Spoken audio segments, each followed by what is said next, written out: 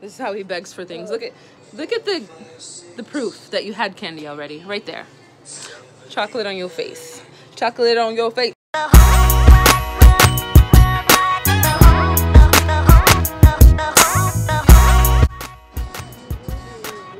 Hi you guys. I don't match because I'm trying to lay my edges for this wig. Okay. Hey. Don't don't climb up there. Don't do that. Caleb is walking around my room and we're I'm trying to figure out the reason why I'm making this video is I need some ideas of like what I could possibly do with him when I have him Saturday morning to just help him out. You know what I mean? Like maybe I can start doing some flashcards, but I'm like, whatever time that we have, whatever free time, I'm not like I'm trying to like work him, you know, until he's tired, his brain or whatever, because he deserves to relax too. I would like to start working with certain things with him at home. So uh, I'm gonna look around and see like, you know, uh, what other, stop doing that um, what other like um, you know autism parents do because he doesn't have um, any patience for me like I guess like he knows that his teachers are his teachers and then when I am home with him and I try to work on things with him he gets very frustrated and he kind of like runs away or he'll start yelling and um, we're, we got to work through that because that's not acceptable there's candy over there and he knows it so he's trying to like can you stop please you had enough. I went to the gym with um, one of my best friends and I did a Zumba class today. It was so fun. It was so, so fun.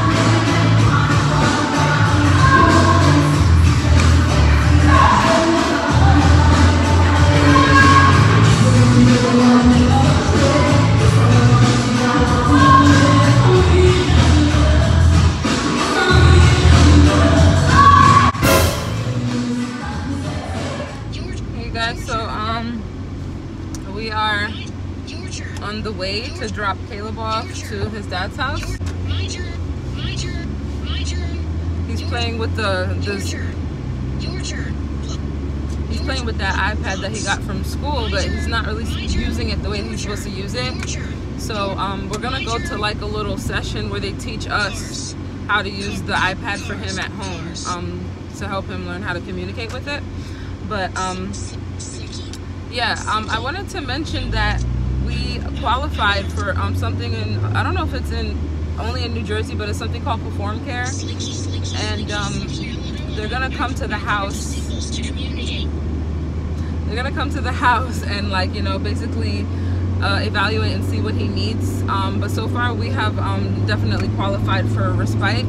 We're gonna qualify for a lot of things with him because he needs extra help on behavioral therapy, speech, and I also believe um, occupational therapy too for him. Anyways, guys, um, I guess I'll try to talk a little bit more after I drop him off because that iPad is really loud and it's locked, so we can't turn it down or anything like that. So I'll be back.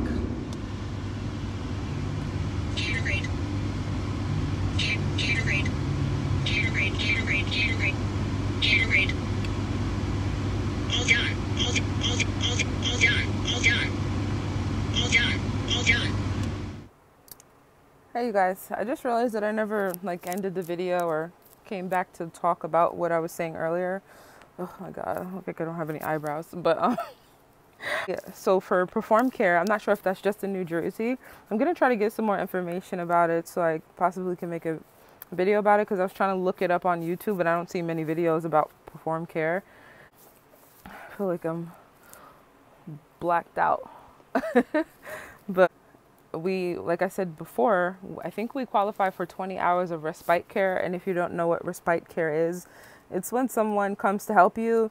They have a center. There's two ways that I've been told that they do it. They actually offer like overnight help if you need it. We qualified for 20 hours. So I'm not sure how that works. I guess we can break it up. I'm not sure how they're splitting it. I think 20 hours per week. I think we qualify. I, I'm gonna I'm gonna clarify that. But um, yeah, they come and they help you. Like if you have to go, you know, to the supermarket or run some errands, like you know, go shopping for the house, go to the gym, anything, take a nap.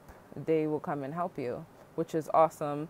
Um, you could either have them come to your house or you can bring them to like a daycare kind of center um, and they'll watch them for you.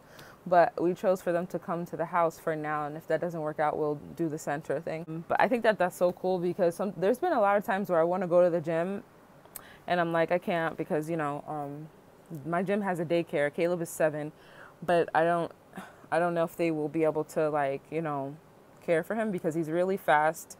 He's you know I never tried it because I just don't want to like cause any commotion because he runs away. He does things like that, and he'll sometimes he's in a bad mood. He's having a meltdown, and you know you just kind of have to put your own needs aside if you don't have like help right then and there. So I, I always find ways like to do what I need to do. You know, you just have to work around it.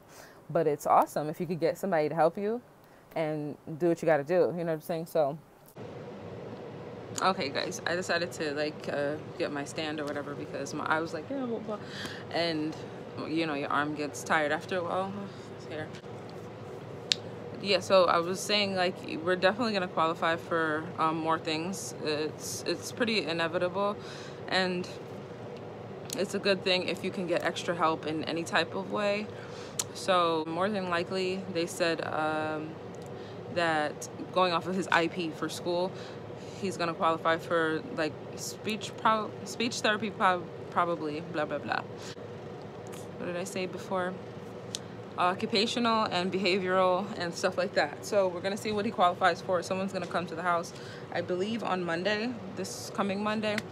Right now it is Saturday, so that's what we're gonna do and we're gonna see i will keep you guys updated on that from there you know and this is all like no cost i forgot to mention that when i say qualify that's what i mean like we're not gonna have to pay for anything it's through basically like his social security and i believe like um, insurance and stuff like that. But yeah i think it's awesome and i'm happy that we found out about it. His psychiatrist that just left he's the one that told us about it. So i think that was really amazing that he let us know about those services because there's a lot of things that Caleb does that we think is behavioral, like when he comes home and he has meltdowns.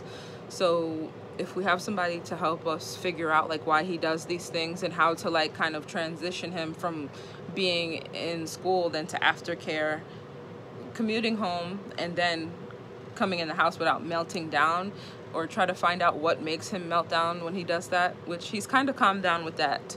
So I'll keep you guys updated on that. I don't want to talk too much because now it's getting like to two minutes and I was, you know. Um, so yeah, uh, thank you guys so much for watching. I'm going to just chill, you know, enjoy the little time that I have to myself. Um, Caleb is with his father and everything like that today, so I'll go and pick him up tomorrow. And that's about it. Bye. Like, comment, and subscribe, please. Thank you.